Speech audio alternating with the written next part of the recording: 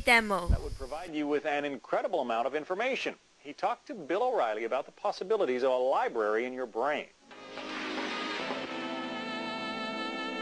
sometime in the next century because computer chips are getting smaller and faster and eventually the time will come when a child is implanted with a little chip back here and will learn to control the chip in the same way that you learn to control your bodily functions and your voice and your movements so that uh, not only can you my, right now, my mind is my body to talk, and it's supplying my mouth with the words that I'm giving to you. And the mind could also learn to say to the chip, uh, go to a certain web page, download some information, and, so, and supply it to the inside of my you, you, believe that you can act, you're going to be actually able to tell your mind through a chip to to provide you with information that you can then speak. So on this program, this would be great for me. Put a little chip in there, and if I didn't know something, I could say, to the, would I have to say it out loud?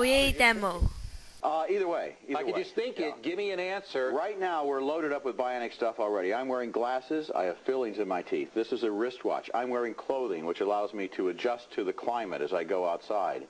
So it's obviously only a matter of time until convergence allows us to match the number one uh, tool, uh, uh, tool of the next century, and that would be the computer chip. I mean, okay, so the computer tools, chip, glasses are tools. Sure, but all of these are external. The computer should be in you. And that's demo. Well, it that... could be in you, or it could be wherever you wanted it to be, and it would allow you to make uh, telephone calls without having a cell phone. Allow you to surf the web without having to monitor. Well. Show me how. Uh, so if I had a chip embedded in my uh-huh. uh, in my yeah. head, I could make a telephone call by. You could just start talking. Call mom. Yeah. And mom would be, and I could and talk you would to just her. say, "Hello, mom." Uh, this and is... I wouldn't have a phone or anything. No. And so you have to have some body language so people would know what you were doing.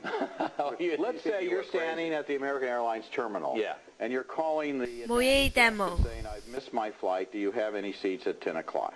Mm -hmm. Okay. If you're standing there saying that, somebody's going to look at you like you're one of these crazy. But not if everybody had the chip, they'd all know what was going on. Well, but you would do, do this.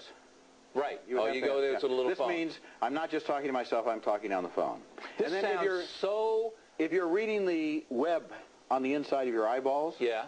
it would look rude to people. It would look like I'm staring straight through you. But I'm not staring straight through you. I'm looking at the Fox News webpage, right? Mm -hmm. so how demo. I would just go like this. You know, because so movie direct, whole sign movie language thing like this. this yeah. sounds so unbelievable. If I'm downloading information, true. It could happen, right? Well, I, you see, my article is half serious and it's half satirical. I don't know which half is half, though, because things are converging so quickly, and computers I, are already such an amazing right. tool. But we've checked it out a little further uh, than your article, and the uh, demo. It is absolutely true and absolutely possible for a human being to be have a chip embedded in their system and to have many many things appear in their mind upon command. So you would say, uh, I need to know the name of the 18th president. Bing. Not only that, I meet you and I call up your credit report while we're talking. We thought Bill O'Reilly already had...